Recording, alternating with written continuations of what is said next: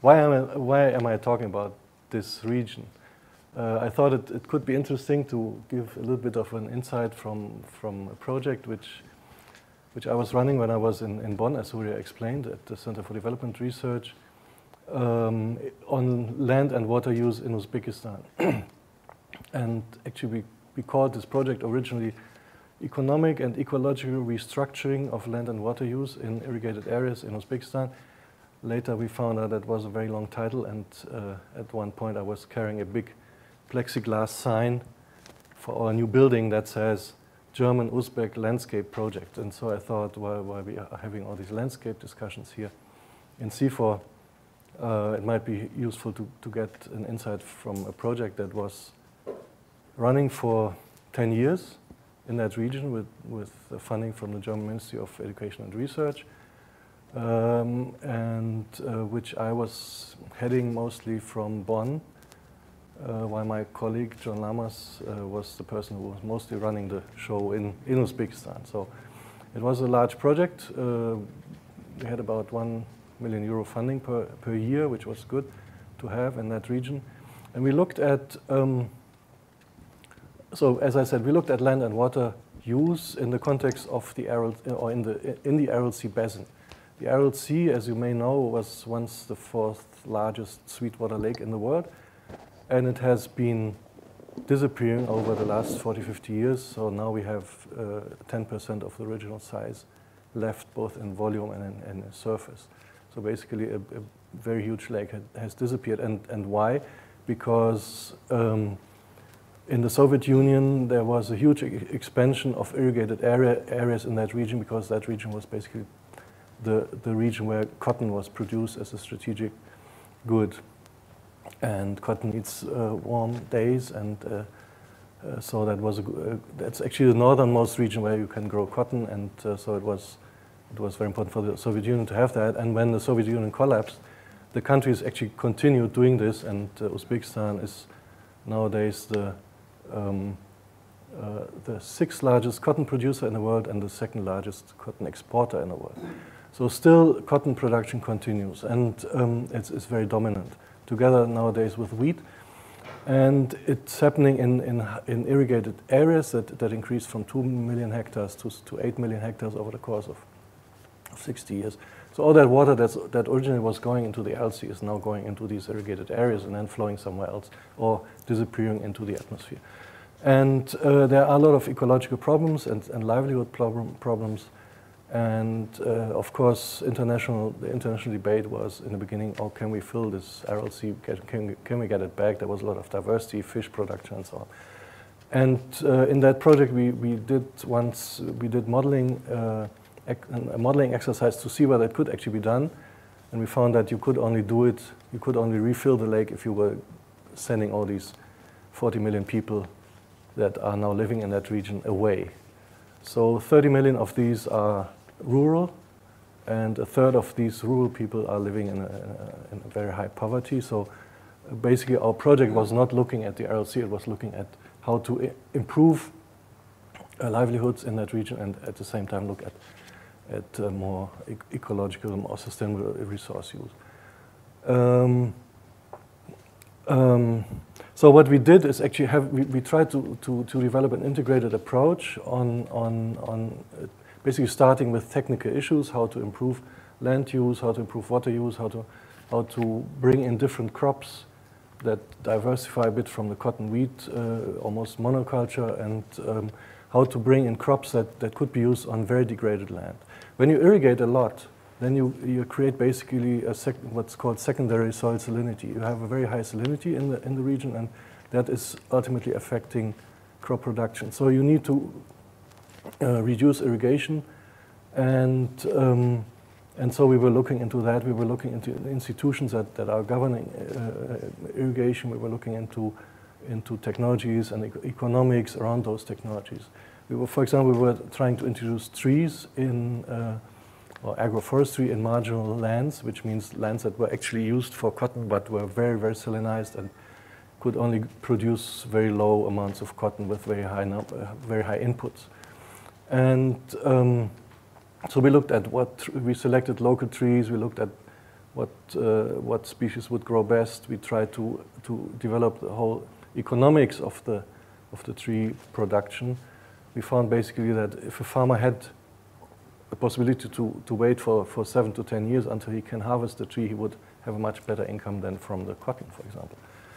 Um, so um, we, we try to, de to develop these things um, in, in, a, in, a, in, an interdisciplinary way, and, and on the way we, we actually managed to, um, to debunk a few myths about, about the region. It's, it's interesting how such regions that, that create a lot of interest internationally uh, create also a lot of myth building, misconceptions that, that, uh, that are widely dissipated in the media.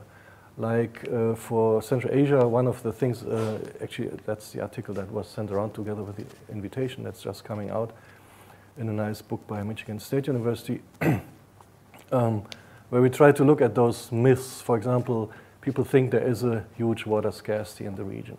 Well, it's a dry region, it's, it's mostly deserts, but there is a lot of water. It's just being overused. Uh, people think farmers don't know how to irrigate the farmers are kind of ignorant. They don't know that lots of water brings a lot of salinity, so they're spoiling their land and they don't know it. Actually, we found out by doing a lot of work with directly with farmers that farmers know very well what's going on, but they have other pressures they, rea they react to, and, and land degradation is not their biggest pressure. It's, a, it's an important point for us. We look at this as, as foreigners, uh, but they have different problems because they operate under what's called a state order on, uh, on crops like cotton and wheat. The government is actually uh, uh, controlling very much the, the, the, the, production of cotton and the production of wheat because these are crops that are strategic important. The cotton importance. The cotton gives the revenues, the international revenues, and so the, cotton, the farmers get paid for raw cotton basically below, way below world market price. Uh, and then the government um, sells the, the, the, the cotton in internationally at, of course, at world market price. So many people see that as, a, as an exploration of farmers. But what people don't see is that the system also provides a lot of uh, subsidies at, at, or inputs at subsidized price. Uh, fertilizers, actually the whole water supply system is for free right now. Uh, and uh, so all these subsidies are coming in for farmers and actually make the balance a little bit different. And in drought years, for example, farmers that have run up huge debts. Sometimes uh, these debts were just written, written off at the end of the year in this system. So there's a lot of pros and cons to be said about, about such a system. And um, uh, so these are some of the things we try to correct. And I think it was interesting to see that if you, if you spend a lot of time in the region, you can see a lot of things going on behind the scenes that, that are much, you, you, you, get a much deeper understanding of what's going on than what's on the surface. And um, so I said landscape approach. I, so the question is what, what came out of such a project? Um, in one dimension, we had a we had we had a lot of scientific production. We, we produced uh, several hundred papers and, and, and PhD studies, MSc studies, and, and books on, on this, uh, on, on the experience from this work, and it's still not finished. There's still work that can be that needs to be published, and, and so we, we're still working on this. We had some 40 PhD students in the course of 10 years. We had some 100 master students, many from Uzbekistan, and they have moved on. They they gained uh, experience in, on the international arena, and, and some have some continued working in the country, some have begun to work World Bank, to research institutions abroad, and so on. So this is a success already. But of course, you would like to see a success in the land management uh, that we actually target, targeted when we set up the, the project. And um, so what we found out that this, this integrated approach, which we try to do, we look at economics, look at technologies in, in a context, um, was not something we could we could easily sell to, to the local authorities or also to local farmers. So what we could do is develop these ideas, you know, is, is it feasible to, to, to grow trees? Is it feasible to have conservation agriculture? Is it feasible to, um, to diversify your, your crop portfolio? And then go out with simple solutions and try to implement those simple solutions. Example, we, we knew that conservation agriculture was working, which is basically a way of reducing Uh, machinery input uh, and, and, and, uh, and, and reducing the traffic on, on the fields and so on, reducing the inputs. And so how, we, how, we, how do we get this out? And there was one student in the, in the project who was actually a farmer's son, and he took this up. He, he made his PhD in this, and uh, a very smart guy. He became a consultant on this, and he's now running around in that region and actually bringing out this technology to farmers. Uh, one of the, the diversification ideas we had was to bring in indigo, which is a, a cash crop, and so we could show that this could successfully be, be uh, grown and actually produce, uh, indigo could be produced as a, as a product to be sold, which is, has a very, very high value. And um, so now there is a farmer association uh, around the indigo, indigo production. We ourselves set up a, an NGO of scientists, or they, actually they set them up, set it up themselves to, to be able to, to continue with the research after the project was over at the university and, and actually generate more funds for, for research. So these things are actually, um, and this is actually my, my message uh, from, from this whole talk. Uh, you know, if you, if, you, if you want to develop integrated approaches, you have to find a way of bringing them back to the people where they can actually uh, use them and digest them. We knew that the, the, the, the, state system would, would not be able to digest inter, integrated approaches. We knew they, they had an entry point for alternative technology, technologies in the Ministry of Agriculture and Water Resources. So we submitted all, all these technologies as suggestions to the ministry for them to, to, to test them and to, to try them out. So, but basically we, went, we took it all back to simple technologies, tree growing, conservation agriculture, uh, indigo and stuff like that. So really simple things. We didn't talk about integrated approaches. We didn't talk about, you know, something that sounded really complex and convoluted to them. And so I think that's, that's one thing I, uh, I think needs to be done. It's, it's try to find you develop all this research around a, uh, around a, a, complex of questions, and then you try to break it down into manageable, simple solutions that, that people can work with. And the second thing is, of course, as, as I mentioned, we had these, these farmer associations and, and, and, and, the young student and so on, so we, you need some, some champions uh, to, to run this when, when you're out. We were there for 10 years, but then the funding stopped, so we had to move out. And uh, I think at the end, what you need is opportunities, or maybe just occasions. I mean, in several, several things of several of the things we tried, we couldn't, we couldn't move forward just because there was no uptake, no interest. Uh, we couldn't get a, a, good handle on the institutional, on, on the institutions of the water uh, distribution system, which was actually crucial, but it was very politically charged, so we couldn't get into that. And so there were some things we could simply not deal with. But still, I think we could achieve, uh, and we have achieved a, a, great deal. And, and maybe one final message is also, this was a 10-year project, and still the innovations are not, not yet, not there to be, you know, they're not outscaled yet. It's starting, but it's starting very slowly, and this is also maybe a lesson. Projects of this kind and bringing innovations into an area takes, takes a lot of time. And that's something we, we should keep in mind. That's what I wanted to to say. Thank you.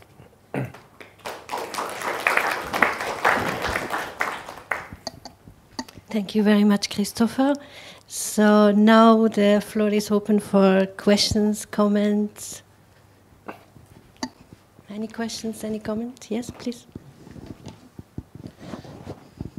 Thank you, Christopher, for nice presentations.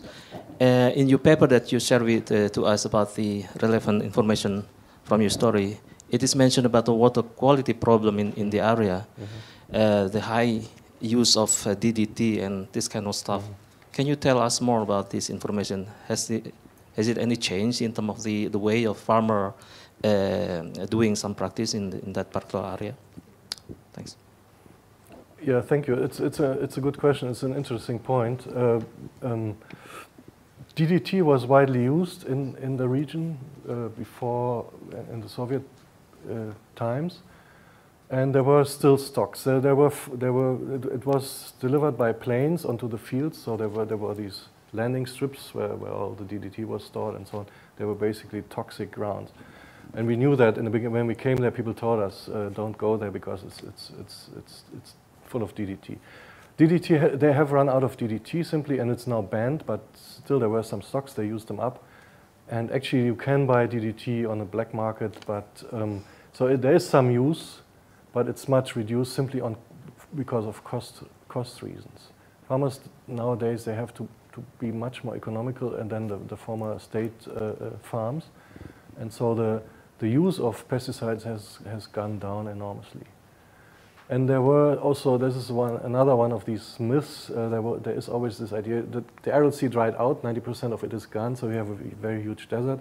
And all the DDT was always flowing into that lake, so it should be somewhere on the sediment. And when you have these dust storms that come up, then they carry the DDT and, and intoxicate everybody in the region. Actually, we found that, and, and many people, many other studies found that that's not true. People are mostly suffering from dust, um, dust contamination in the air uh, uh, uh, because it's just so dry, and a dust storm raises a lot of, uh, of, of fine particles. But DDT as such is not a problem uh, anymore, not that strong. It was. Uh, there, there were huge problems with um, maternity and, and childbirth and so on, but it's, it's now not so strong anymore. Okay, thank you. Any other questions, comments? Yes, Christine, please. Thanks very much. And thank you for the talk. And I apologize, I didn't read your paper, so if I'm asking a question that would have been answered by the paper, forgive me. Um, you talk about sort of the complexity of integrated approaches and that you need to sort of proceed simply. Um, but integrated approaches is what smallholder farmers do all the time. Um, and but I assume, you know, so I don't I don't think it's a difficulty with the farmers. I think often it's a difficulty with various institutions with, of the state or you know, research institutions or whatever. Um, I assume in this area, I mean, it was part of the Soviet Union, so I assume they went through long periods of of um, a sort of destruction of smallholder farmer economies, whether through collectivization or through the Yeah. bringing in of these big um, um, industrial crop um, uh, production systems. So, is there something left of smallholder systems? You know, is there? I mean, what did people do for a living, and do some Yeah. of them still do sort of more complex? Integrated sort of things? Do they have more more um, diverse economies at the smallholder level or at the village level? And my second question, totally. Um, um, totally um, um, in, in, in keeping with almost every other question I've asked. Uh, Central Asia, certainly uh, Tajikistan and all, are known as areas of high rates of migration and dependence on remittances. Is that now um, an issue in Uzbekistan as well? And can and does that actually sort of make the um, economy more essentially more um, more diverse as well? Thank you. Three very good points. Uh, you're right. Uh, I mean, irrigation in that region is not dating back to the Soviet era. It's, it's three or four thousand years old. These are areas that have been part of the Silk Road, so there were always little settlements and, and irrigation along the rivers for, for many, for millennia. So people, and that's actually part of, of an interesting story because people actually in that region where we worked, which is called Khorazm, uh, which wa- once was a very big autonomous state, now it's just a very small uh, uh, district or province of Uzbekistan. Uh, and there are wonderful cities like Khiva and, uh, and others where, where you have uh, old heritage sites from, from, the, from, the, from, the, from the Muslim era. And so, um, so these people have a lot of experience with irrigation, and it was it was hugely increased, of course, in these state farms. And when you had state farms, you had a tractor driver, you had a, a head of the farm, and, and several headmen and so on. But you had a, a teacher, and you had this and this and that. And all these people, after independence, in many of these Central Asian country, countries, became actually small. These farms were dissolved, and people became small farmers. And so the person trained as a tractor driver all of a sudden was a farmer. So there was not much of an experience. So much of it needed to be built up. And actually, Uzbekistan had learned from that experience, and at some time in 2008, they, they abolished the very, very small farms. In a little bit brutal manner, they just told people they had to merge, or otherwise, uh, otherwise do, we don't tell you. but um, so, but basically that was probably a smart thing to do because the, some very small farms were just not viable. Um, they have a lot of, in, uh, I mean, besides the state-ordered crops, they have a lot of small gardens where they produce a lot of wonderful vegetables. They have a wonderful uh, culture. Uh, they have many varieties that, that can store for, for long periods in winter without cooling, just to be in the basement, dry and, and, and cool. So there is a lot of interesting stuff going on and, and, and a lot of original knowledge that should actually be harvested at some point and preserved. Um, so smallholders are back. They, they, that's part of the poverty problem uh, because many of them are on farm on farms so small they, they can actually can't make a living. Um, and the last, so the last question was um, migration. Uh, migration. Yeah, there are many many Uzbek workers in the Soviet Union uh, working in, in, construction, exporting stuff like melons and so on. And I don't have figures on what the part of remittance of the national budget is. Uzbekistan is economically a very strong country in, in a way. I mean, that they rely on, on cotton a lot, but they're, they're also building up, at least the plan is to build up industry. They have gold. Uh, so remittances uh, don't play such a large role like in Tajikistan probably, but they certainly play a role. Yeah. Um, it must it must have gone down now with the with, with the economic crisis also in, in Russia, but uh, there still is, is a, it's a very big part. And and many families I talked to in, in this district where we were, they, they had somebody abroad or somebody working in the next big city and, and, and somebody working in Russia or where, Kazakhstan in the oil rigs and so on. oil, not rigs, but the oil, oil production in Kazakhstan. Any other comments or questions? Yes, Daniel.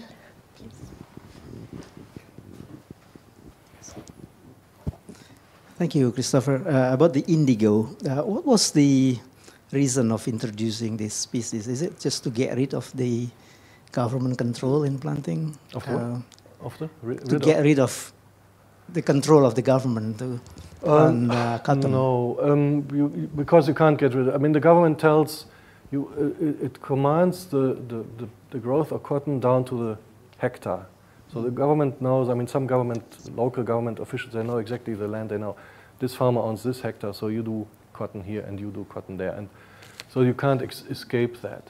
Um, but of course, people have their own land, and, and we, we were just experimenting with alternative crops for the situation that cotton, I mean, cotton is very strongly depending on the world market, and, and so some diversification might be healthy and also healthy for the land for, for sustainability. And, and we try to find crops that could also grow on, on marginal, on, on salinized lands. On Sometimes you have remote areas where the irrigation water doesn't get so often, so it's, it's more drought uh, agriculture and so on. Uh, I can't tell you exactly what led to the choice of indigo, but um, there was some study on what would be suitable for, for local conditions and then where we would find a local markets. Indigo currently comes mostly out of India. The process of extracting indigo is secret. and Nobody can nobody tells you what it is. We, we talk to many textile organizations in Germany. They, they all keep mum about this. So we tried to develop a very crude way of, of extracting it, which worked, mm. and it can probably be refined. And so we thought that could give farmers a good market value for the for for the hectare. And, and so actually, if you have three hectares of cotton and half hectare of indigo, it might be a viable a viable solution.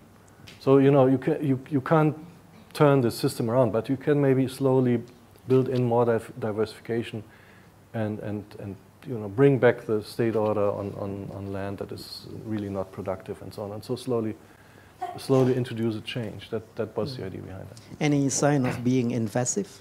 Sorry? Invasive? Um, well, nothing is really invasive that depends on irrigation. It's, it's, uh, it's, you know, you're in the middle of big deserts and then you have these irrigated areas. So uh, and I don't, we, it never came up. I don't think it was really, it, it would have been a problem. Any other comment? If not, I also have a, a question. Please.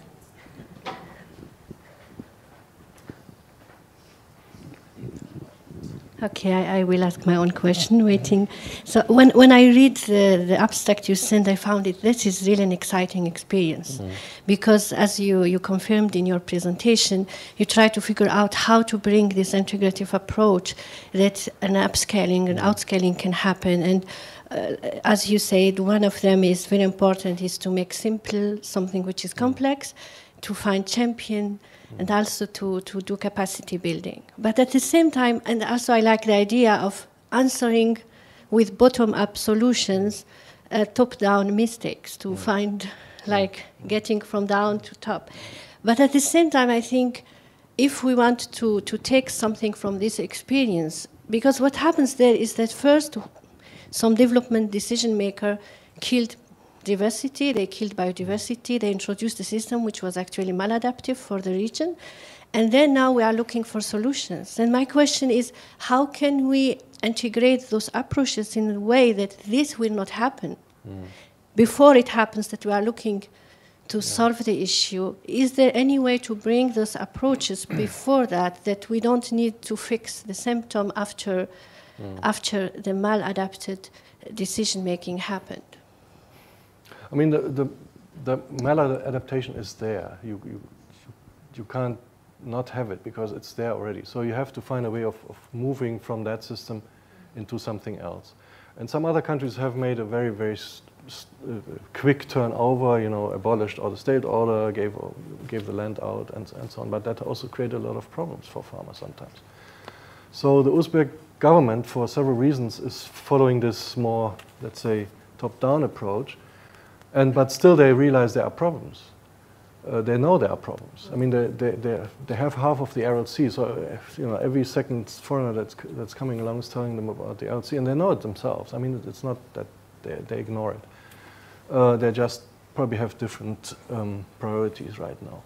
But so um, our idea was to, to demonstrate ways of, of improving the system that that are more rooted in evidence from what's actually going on locally and then build, build, build a case for these. So the conservation agriculture was a perfect example where we actually, in the beginning, we had a few fields where we did it on, our, on, on some state experimental farms, which were, where we got some land.